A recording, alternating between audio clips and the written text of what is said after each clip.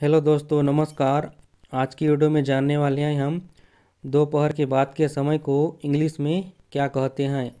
तो दोस्तों, दोपहर के बाद के समय को हम इंग्लिश में पोस्ट मेरिडियम कहते हैं। जैसे दोपहर के बाद का समय, मध्यान्ह के बाद का समय, दोपहर बाद या रात के समय को हम लोग पोस्ट मेरिडियम कहते हैं।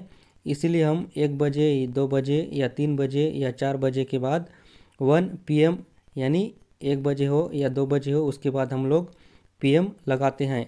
जैसे मैं आज दोपहर एक बजे पैसे निकालने के लिए बैंक जा रहा हूँ तो मैं इंग्लिश में क्या बोल सकता हूँ इसको? I am going to bank today at one P M to withdraw money I am going to bank today at one P M to withdraw money यदि मैं दो बजे जाता तो टू पी एम लिखता।